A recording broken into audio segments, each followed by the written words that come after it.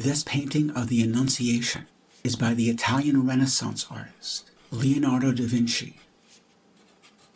We see the angel Gabriel announcing to the Virgin Mary that she will be the mother of Christ. Leonardo's composition situates Gabriel at the left side of the picture and Mary at the right. This structure invites us, reading the image from left to right, to begin with Gabriel's arrival and follow the narrative towards Mary. As one of the most popular motifs in 15th century Italian art, the Annunciation had already been depicted by painters such as Fra Angelico, Fra Filippo Lippi, and Sandro Botticelli. However, Leonardo's painting is different from many of his Florentine predecessors. In these earlier depictions of the Annunciation, Gabriel and Mary are enclosed by architecture. But Leonardo depicts this sacred event unfolding in an open garden against a background of expansive nature. The pictorial space in this painting appears to recede endlessly toward a distant mountain. This atmospheric landscape is a manifestation of Leonardo's interest in science and his study of the mechanics of the natural world.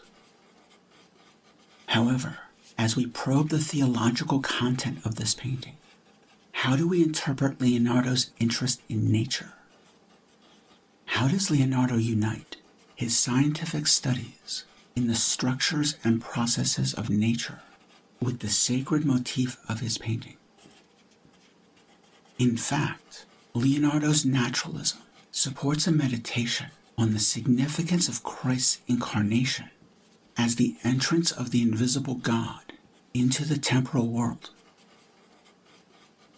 This painting also evidences Leonardo's investigation into how we perceive distance.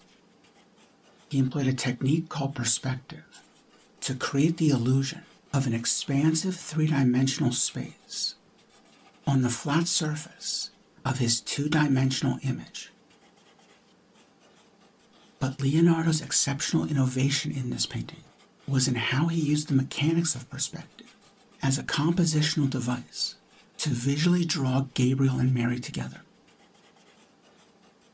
Since Leonardo is renowned for his scientific drawings of how things work, it seems appropriate to describe the mechanics of his composition by means of a diagram. Imagine that there are two posts joined by a taut wire and consider what happens when this wire is pulled back. As the wire is pulled, pressure is applied to the two posts, pulling them toward each other. A similar mechanics operates in Leonardo's composition. There is an invisible line that joins Gabriel and Mary. That connection is established by their reciprocating lines of sight and gestures. However, as the space within the picture appears to recede into the far distance, there is a corresponding pull on this line between Gabriel and Mary. The further that the pictorial space recedes into the distance, the stronger this connection between Gabriel and Mary becomes. By situating the Annunciation in an expansive atmospheric landscape, Leonardo was able to more effectively employ the structure of pictorial space to draw us into the scene. Since it is our act of looking at this painting that activates its compositional mechanics, Leonardo's naturalism makes us present at the Annunciation